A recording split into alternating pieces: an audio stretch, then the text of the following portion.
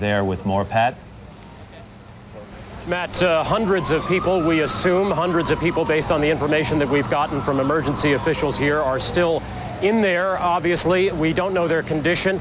Uh, we have not seen anybody coming out in some time. The question really for rescue officials at this point is when they can begin to move large numbers of emergency uh, service units, either firefighters, police, or of any kind, into that area down there. Uh, this area you're looking at here, we are probably about 12 blocks north of where the World Trade Center once stood. This area here has been secured off basically for emergency workers and also for the press.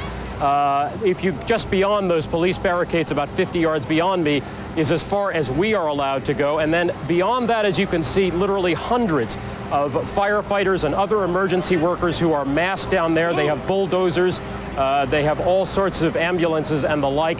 But we have not seen more than a handful of ambulances coming out of there uh, in the last hour or so. Uh, that may be only that they are not using this particular way out uh, that is, of course, possible. They may be routing them from other directions. Uh, we can't say that.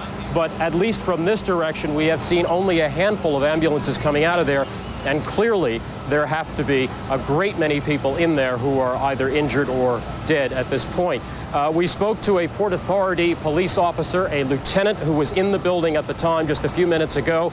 Uh, the Port Authority, we remind you once again, is the agency that runs those two twin towers, as well as the World Trade Center complex and the airports and the tunnels and bridges around New York City. Uh, he said that he had been in the uh, in the building at the time, that he heard the explosions. He said it was a frightening situation, and at one point after the initial crash of those two airliners into the sides of the buildings when there were fires blazing. He said that he saw at least a couple of people leaping from high floors, uh, obviously because of the fires presumably behind them. Uh, anyone leaping from a height of that, uh, he said probably at least the 30th floor, uh, obviously leaping to their death. Uh, there will be a number of horrible stories. We have already heard many of them so far, but at this point we have uh, basically what we have is hundreds of emergency rescue people who are massed here and we are waiting to hear when they will be able to go in in significant numbers. That's the key thing. A handful may go in here and there, but obviously there are most likely large numbers of people who need help, and we are waiting to hear when large numbers of rescue workers will be able to go in. Back to the studio. All right, Pat Dawson here in Manhattan. Pat, thank you very much. A bulletin.